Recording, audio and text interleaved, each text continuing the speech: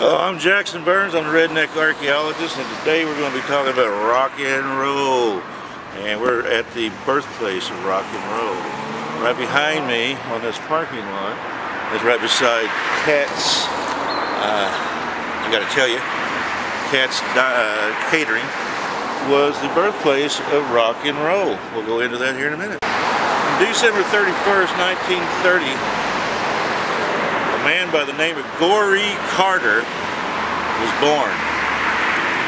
Now, he was born in Houston, Texas, and we're in Houston, Texas. We're on Westheimer. That is 608 Westheimer. Katz's is at 616 Westheimer. So we're at 616 and 608. And this parking lot, or in this lot right between the two buildings, was where Freedom Records was founded. Freedom Records was founded by Saul Kahal, Kahal, and they recorded the label's first release that was called Sweet Old Woman Blues. And then, as well as Carter, the band that was backed him, that they had working there, featured uh, two saxophones, a trumpet, piano, bass, and drums. Now, Carter's electric style, Goree Carter, uh, joined a jump blues band called the Hepcats. That was his backup band. And then they signed for Freedom Records. And Freedom Records recording studio was right here on this vacant lot, where this vacant lot is right now. In 1949, at the age of 18, Goree Carter recorded his best known song, which is called Rock a While.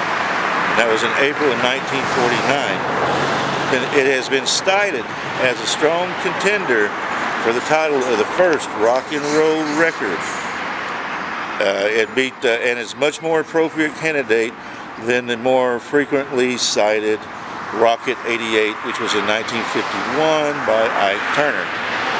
The uh, Rock a intro resembles a lot of uh, Chuck Berry records from 1955 onward, so Chuck Berry probably took his rock and roll style and influence from Gloria Carter, which was from here.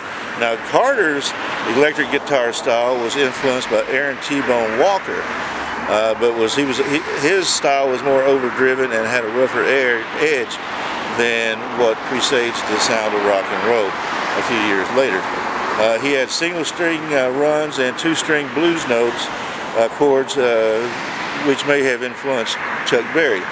So most likely he did. Now, Goree Carter quit music, the music industry and he wouldn't go out very much at all anymore. Uh, I don't know why, you know, he probably got ripped off several times. it is the music industry and the record industry. Now Carter recorded for several labels in the 1950s, including Imperial, Coral, and Modern. But uh, he lastly recorded in 1954. He continued to play occasionally in local gigs in this Houston area. And then he said it was visiting artist B.B. King and at one time uh, when B.B. came to Houston, but his last known performance was in 1970. He died in Houston at the age of 59 in 1990. Now, Goree Carter was a man who invented rock and roll, evidently that Chuck Berry later was influenced by, and who knows, maybe Ike Turner. This is where it happened site of Freedom Records, Houston, Texas, history unknown. I'm Jackson Burns, I'm the Redneck Archaeologist. I'm signing off from where rock and roll was born.